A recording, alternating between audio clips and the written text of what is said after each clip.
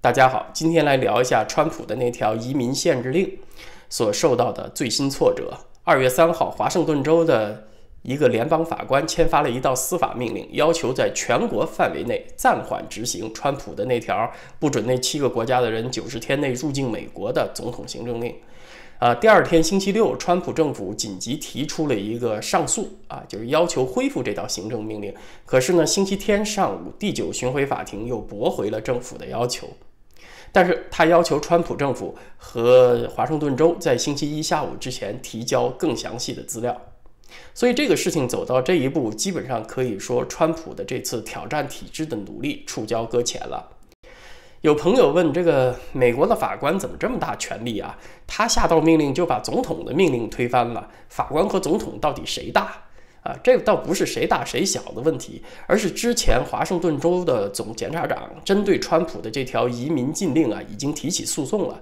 那么法官决定在最终裁决之前，把这个有争议的活动先暂停下来，因为他进入司法程序了嘛，所以就归法官管了，他就有权利可以下这样的命令。因为西方它是一个三权分立、司法独立的社会，它是这么一个体制在运行，所以法官可以这么做。那这个事情要放在中国，当然是不可思议的了。前不久，呃，中国大陆那个最高法院院长周强还说要对三权分立、司法独立等西方错误思想亮剑，啊，这个事情必将成为本世纪最搞笑的笑话之一。一个法院院长居然说要和司法独立死磕啊！这就好像一个作家说他绝绝对要跟那个版权保护势不两立一样啊！你说你不赞成西方的司法独立那也行，那你就搞一个东方的司法独立出来吧。说他也没有啊！我还看到一些网友也是痛批西方的三权分立啊，但是呢，他对行使这个三权分立的这个法官挑战。川普的这个法官鼓掌叫好，也丝毫没有违和感，也没有感受到这期间的分裂与矛盾。那这也是比一件比较有意思的事儿。好，那回到今天讲的这个话题，说这个总检察长啊，他所提出这个理由啊，要求冻结总统的这道行政令。他这个理由，如果不是出于政治正确的考虑，不是出于维护某个呃政治信念的话，哈，还真的很难说他这个理由有多强的说服力。就说他说这个总统行政令造成了华盛顿州的家庭离散，多少家庭多少企业受到了损失。可是呢，这个行政令它的有有效期也就是限制这七个国家的人三个月嘛，不能入境。真的有特殊情况的，还可以个案审查。为什么这三个月就导致了家庭离散？好像出现这么大的悲剧呢？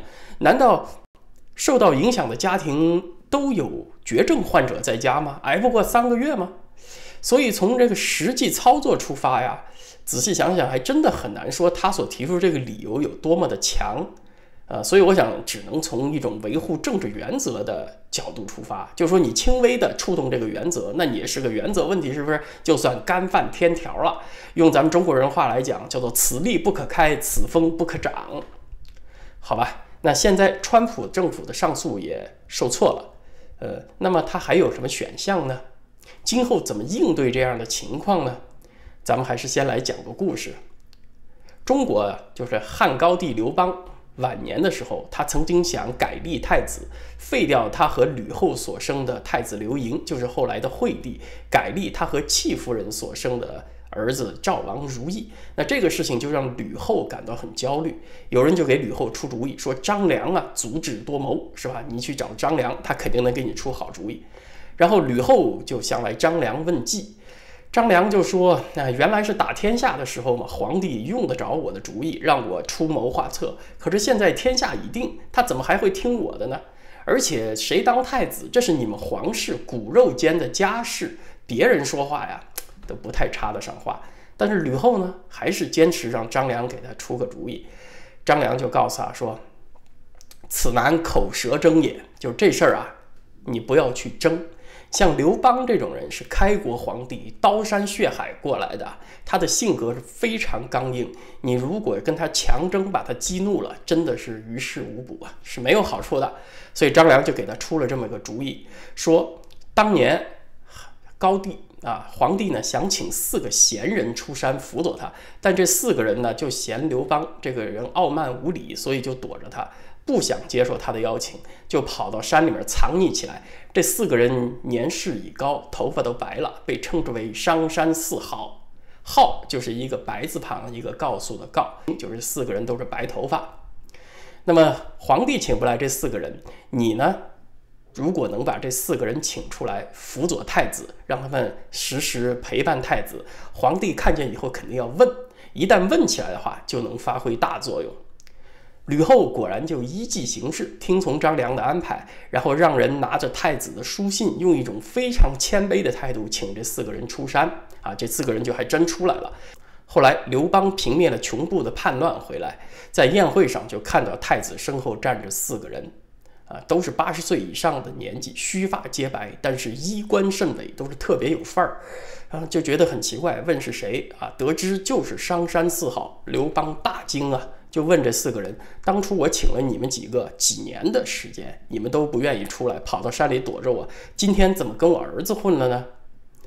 这四个人就说：“说陛下你是傲慢无礼啊，对待特别是对待世人、对待读书人轻慢无礼。而我们这些人都是有节操的，我们义不受辱啊，所以我们跑到山里躲起来，不愿意见你。但是听说太子仁孝，对世人、对读书人呢特别恭敬有礼，所以我们就出来效劳了。”然后刘邦就半天说不出来一句话，那最后说了那么一句：“那就请几位尽心辅佐太子吧。”宴会散了以后，刘邦目送着几个人远去的身影，就跟身边的戚夫人说：“说我本来想立你的儿子当太子，但是现在太子把这四个人都请出来了，他羽翼已成啊，就是根基深厚，我已经动不了他了。”两个人呢就特别伤感。啊，刘邦就跟戚夫人说：“那你来跳一段楚国的舞蹈，我来给你做一首楚歌，是吧？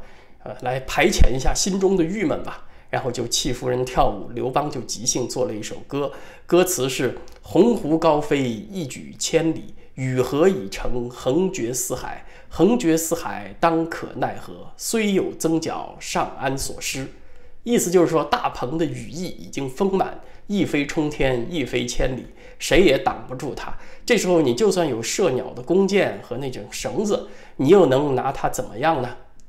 然后这歌唱了连唱了几遍，然后戚夫人泪流满面啊。最后刘邦还是打消了这个改立太子的念头。从这个故事呢，我们就可以看到道家的智慧啊，因为张良是个道家人物嘛。你要儒家的话，碰到这种事情，那肯定是据理力争，是吧？死谏就跟皇帝死磕，你就是不能够改立太子，搬出礼法啊，搬出各种各样的历史故事，废长立幼，怎么怎么样，就跟皇帝肯定是当面死磕。那么要是放在西方呢，那可能就是法庭上见，是不是？或者我找人来裁决。哎，你看道家他不这样，他不让你去争，而是营造一种氛围，让。皇帝在这种氛围当中啊，从自己的利益出发，改变初衷。你像这四个人，皇帝自己都请不来，现在太子就请来了，这说明太子已经深得人心啊，天下归心，他根基已经深厚了。这个时候你再要去把它废掉，那可能整个王朝的根基都会动摇，那这种成本太大，刘邦就不会做了。张良是个修炼之人。史记中说，他最后是从赤松子游嘛，就是跟赤松子修仙成道去也是吧？他不会劝你去争，但是他会去帮你营造一个气场，这个气场无形的东西却非常有力。所以老子说：“以渠不争，故天下莫能与之争嘛。”那所以讲完这个故事跟现在的联系是什么呢？其实，呃，根据这个拉斯穆森公司的民调显示啊。有百分之五十七的选民是支持川普的移民禁令的。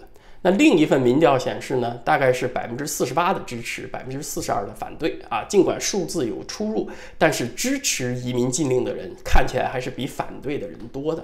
但是大家发现没有，在这一波冲突当中，支持川普的人并没有大规模的出来发声。这就说明政治正确所带来的无形压力还是普遍存在的。支持川普的人并不敢太公开的发表自己的意见，那觉得很有压力。也就是说，要做这种会引起更激烈争议的事情，确实需要更强大的气场来支持啊，用刚才那个故事文的话来说，就是羽翼不丰，不可以高飞。在一月二十号川普就任的那天，我录了一段视频，里面就提到，川普刚就任的时候，应该尽量避免这种陷入持久争执的事情。而现在这个移民禁令就陷入了这个局面。从川普的角度来说，他更应该从内政当中汲取支持，在短时间内扩大就业，让他这个支持者的基础更加夯实，让他的支持者的声音能不断的发出来，有这样的环境。啊，让支持让他的支持者能不断的公开表达自己的意见，成为常态。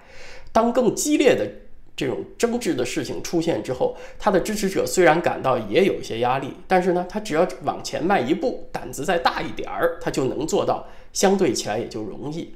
而现在的情况是什么呢？就说他的支持者即使有意发声，但是相当于要从零一步跨越到一个突破高度禁忌的话题里面去。感到压力太大，从而就有所犹豫了。除此之外啊，川普也确实需要有一些知名度比较高、影响力比较大的人来给他背书啊，来给他站台。就像故事里讲的那个商山四号一样，这些人如果能够站出来，就能带动更多的人站出来，能带动更多的人站出来，就能制造更强大的气场。也就是说，川普仅仅依赖于草根还是远远不够的。就像刘邦的歌词里面所说的所说的嘛，与格以成，才能横绝四海。所谓的检察官、法官，他他们在这种有高度价值观取向的诉讼里面啊，很大程度上也是受到民意左右的。民意风向的改变，也绝对能够对他们产生巨大的影响。美国是规则明确，都是依法办事儿，对吧？这个当然是它的优越性。它不像在中国，因为在中国一直它不会像西方这样条条框框的那么明显。在中国，经常要通过一些迂回的渠道才能达到目的。啊，法律上也规定，总统在移民事务上是享有呃完全的权利。可是实际情况大家看到了，并不像条文里面规定的那么简单。那么中国式的处理问题的方式，像刚才讲的那个故事，它也有可取之处。东西方思维的方式不一样，你看它处理冲突的方式也不一样。在古代西方，你看战争艺术，它是一个非常晚才出现的东西啊。在开始的时候，两军对垒啊，那他那个战术很简单，就是双方排成整齐的方阵，然后明刀明枪，一刀一枪的厮杀。